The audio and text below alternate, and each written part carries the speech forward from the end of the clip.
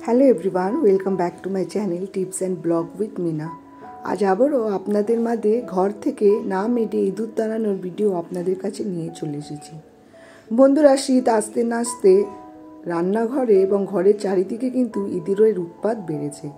বাড়ির চারিদিকে সমস্ত জামা কাপড় যেমন ইঁদুর কেটে কেটে নষ্ট করছে তেমনই রান্নাঘরে রান্নার জিনিসপত্র নষ্ট করে দিচ্ছে।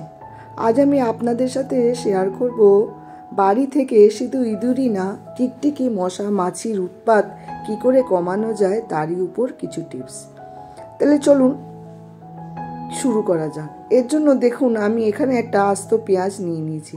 এই পেঁয়াজের মাধ্যমে আমি আপনাদের সাথে শেয়ার করব এই টিক্সটা আমরা কি করে করে নিতে পারি। বন্ধুরা, তার আগে জানাই, আপনারা যদি আমার ভিডিও দেখে থাকেন প্লিজ আমার চ্যানেলটিকে লাইক শেয়ার সাবস্ক্রাইব করে আমার পাশে থাকবেন। আপনারা যদি নতুন হয়ে থাকেন, তাহলে নিশ্চয়ই একবার আমার চ্যানেলটিকে সাবস্ক্রাইব করে পাশে থাকবেন এবং নতুন নতুন ভিডিও দিয়ে আমার নিজের এবং আমাকে অনেক রকম হেল্প করবেন। দেখুন, এবার এই পেঁয়াজের খোসাটাকে আমি ভালো করে ছাড়িয়ে দেবো।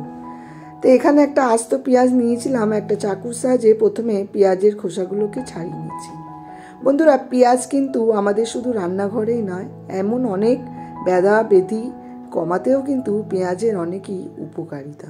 আর এই পেঁয়াজের খোসাগুলো ফেলবেন না।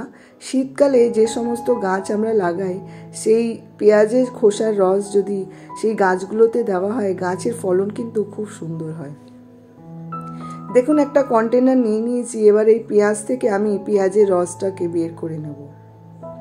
বন্ধুরা, পেঁয়াজের রস শুধু মশা, মাছি দূর করতে সাহায্য করে সেটা না। পেঁয়াজের রস থেকে কিন্তু অনেক অনেক কাজ আমরা করে নিতে পারি। ঘরোয়া টিপস যদি ফলো করতে হয়, তাহলে পেঁয়াজের রস দিয়ে অনেক কাজ আমরা করে নিতে পারি। দেখুন, এখানে আমি পেঁয়াজের রসটাকে বের করে নিয়েছি। পেঁয়াজের রসের মধ্যে যে ঝাঁঝালো গন্ধটা থাকে, সেটা পোকামাকড়, কীটনাশক বা ইঁদুর তাড়াতে খুবই উপকারিতা। দেখুন এবার এই পেঁয়াজের রসের মধ্যে আমি নিয়ে নিয়েছি সামান্য একটু জল। খুব বেশি দেব না, সামান্য একটু জল দিয়ে এই সলিউশনটা আমি বানাবো। তার মধ্যে দেখুন দিয়ে দিয়েছি এক চাম এক চিপির মতো ফিনাইল। ফিনাইল বা লাইজল যে কোনো লিকুইড কীটনাশক বা যে কোনো লিকুইড ডেটল থাকলে আপনারা এখানে ব্যবহার করে নিতে পারেন। দেখুন, এই তিনটে উপকরণ দিয়ে আমি ভালো করে মিশিয়ে নিয়েছি। এবার এই সলিউশনটাকে একটা স্প্রে বটলের মধ্যে আমি ঢেলে নেব।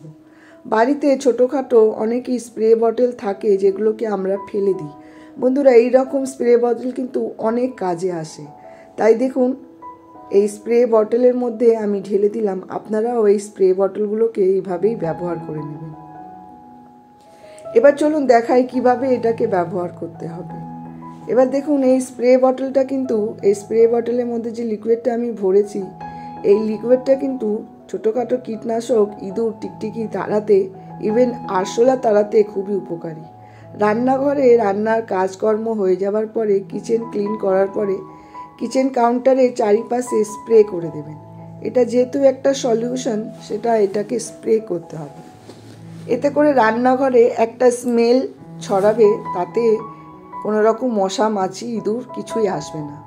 তারপরে দেখুন কোনায় কোনায় যেখানে চালের ড্রাম সিলিন্ডার রাখা হয়, সেখানেও কিন্তু পোকা মাকড় এবং মশার উৎপাত হয়। সেখানে আপনারা এইভাবে স্প্রে করে দেবেন।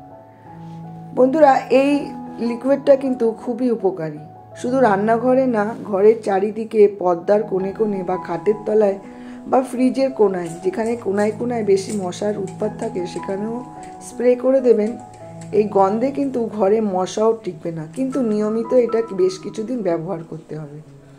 এছাড়া ঘর মোচার জলেও কিন্তু এই সলিউশনটা মিক্স করে আপনারা ঘর মুছতে পারেন।